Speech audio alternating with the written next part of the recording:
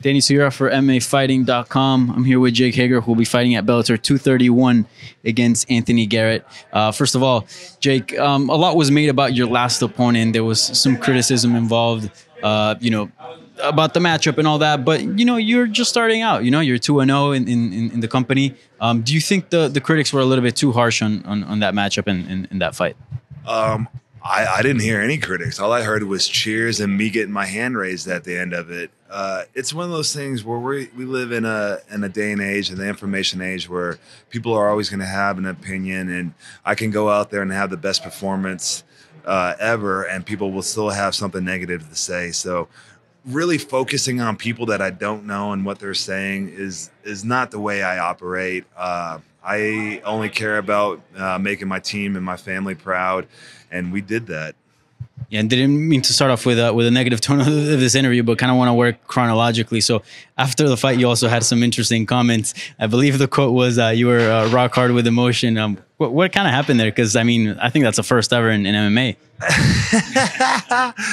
I'm sure I wasn't the first MMA fighter to get a victory and be rock hard with emotion.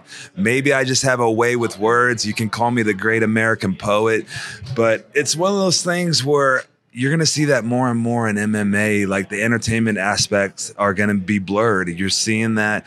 And that is my moment right there after the fight that I work for, that I get five minutes or whatever, and I get to say whatever I want to say, and I want to grow my brand. And, you know, it's like if you're not entertaining, people aren't going to aren't going to want to tune in. So you want to make them feel a certain way. Um, I think that promo is one of the best in my career because that was real. That was raw emotion. That's really what I felt in that moment, and it, it came across, you know, to some people as a as a dick, but it also came across as somebody who knows what they're doing. And um, if you look at it back, that promo was almost just as big as the fight itself. And it's like, I mean, I almost got two wins that night. Yeah, certainly uh, a very memorable moment uh, in MMA. Um, have you experienced anything like that in competition? Because I mean, you, have wrestled before, right? You had fought before that as well, um, and and you had wrestled as well as as, uh, as far as uh, collegiately, right? Well, I come from Perry, Oklahoma, which is the wrestling capital of the world. We have more wrestlings, we have more state championships than any sport of any school of any size in the nation, and that's really something I'm very proud of. And when I was in high school, we would put 13 of 14 guys in the finals of, of the state tournament, of the regional tournament, and people would come out and just boo us because you would have all of us lined up. Yeah, get out of here because uh, they would have all of us lined up there for the introductions for the finals, and we were so dominant that people booed us. It was kind of like the Patriots now, and so I learned from a very young age to use that as fuel. I love it. It just makes me stronger. Like boo me all you want. It's fun. And Anthony Garrett, uh, definitely a step up in competition. I mean, physically looks to be a very solid guy. Also, a lot more experience. I believe he's four and two in his record. Is this the appropriate step for you next? Yeah, um, I'm very excited about this fight. I'm very excited to take the step up and really showcase what I've improved on. He's a big, tall kid. Uh, definitely going to have some reach on me, and so we're going to go out there and and you know inflict our will on him and continue what we're doing.